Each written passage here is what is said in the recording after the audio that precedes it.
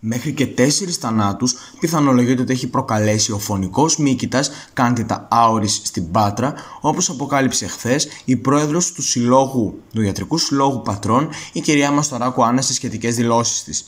Η ίδια πρόσθεσε ότι ο μύκητας που προκαλεί νοσοκομιακές λοιμώξεις εντοπίζεται στη ΣΜΕΘ. Εάν προσβληθεί από τον μύκητα ασθενής που είναι ανοσοκατασταλμένος ή έχει σοβαρά προβλήματα υγείας, ενδέχεται να αποβεί και θανατηφόρος καθώς εμφανίζει μεγάλη ανθεκτικότητα στη θεραπεία. Τα λεγόμενα πάντως της κυρίας Μαστοράκου διαψεύδει ο διοικητής της έκτης είπε ο κύριος Καρβέλης Ιωάννης.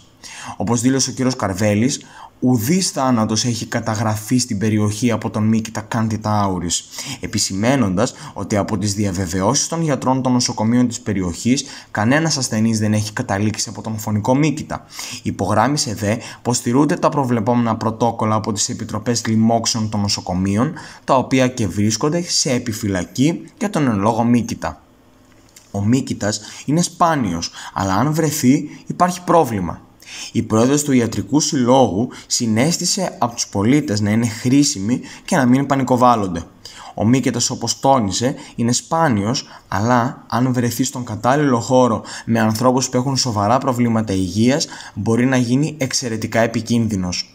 Για το ίδιο ζήτημα η παθολόγος λοιμοξιολόγος επίκουρη καθηγήτρια στο Εθνικό και Καποδιστριακό Πανεπιστήμιο Αθηνών στην Τρίτη Πανεπιστημιακή Παθολογική Κλινική στο νοσοκομείο Σωτηρία δήλωσε ότι πληρώνουμε ό,τι κακό έχουμε κάνει στο περιβάλλον και ό,τι κακό έχουμε κάνει στην οικολογία του ίδιου μας του οργανισμού με την αλόγιστη χρήση αντιμικροβιακών.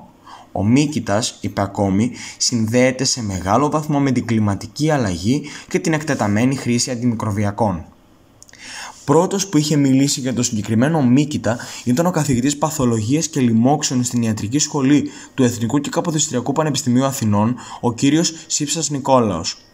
Τα επόμενα μεγάλα πρωτοσέλιδα όταν θα τελειώσει η πανδημία θα είναι τα πολυανθεκτικά μικρόβια στα νοσοκομεία, είπε προημερών ο καθηγητής, ο οποίος σημείωσε ότι το συγκεκριμένο μικρόβιο υπήρχε και πριν την πανδημία και στήχησε πολλές ζωές.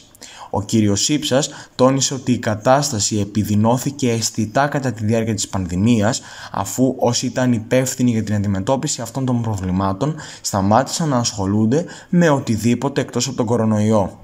Η επιτήρηση χάθηκε κατά τη διάρκεια της πανδημίας. Ένα σημαντικό κομμάτι των θανάτων οφείλεται στο πρόβλημα αυτό.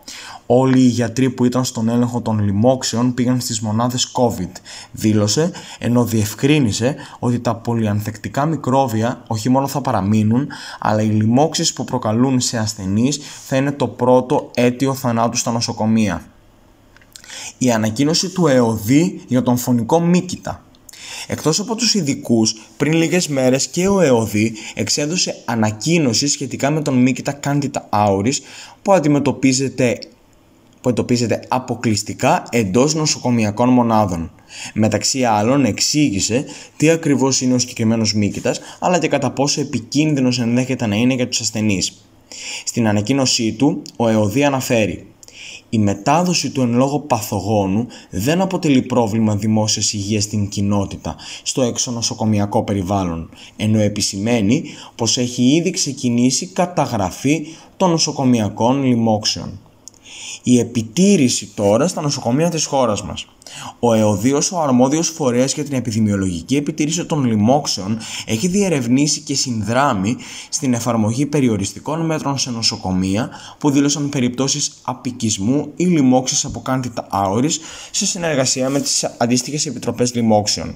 Η διερεύνηση είχε ως αποτέλεσμα ο ΕΟΔΗ να εισηγηθεί στην καθολική επιτήρηση του απικισμού και της λίμωξης από κάντιτα άωρης σε όλα τα νοσοκομεία της χώρας. Σύμφωνα μάλιστα με πρόσφατο ΦΕΚ του Υπουργείου Υγείας, από τις 7 Απριλίου του 2022, οι νοσοκομιακές λοιμώξεις, μεταξύ των οποίων και οι λοιμώξεις από κάντιτα άωρης, αποτελούν υποχρεωτικώς δηλούμενα νοσήματα.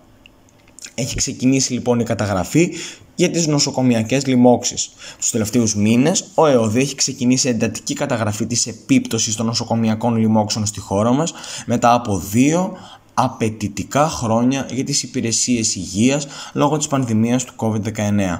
Η καταγραφή και η εκτίμηση κινδύνου για τα επιμέρους παθογόνα πραγματοποιείται με βάση τα διεθνή πρωτόκολλα του Παγκόσμιου Οργανισμού Υγείας και του Ευρωπαϊκού Κέντρου Ελέγχου και Πρόληψης Νοσημάτων. Εν κατακλείδη,